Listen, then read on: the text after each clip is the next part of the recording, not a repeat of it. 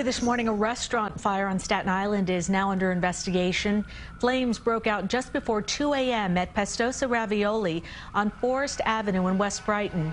Dozens of firefighters responded to the scene and brought it under control in about 20 minutes. No one was hurt.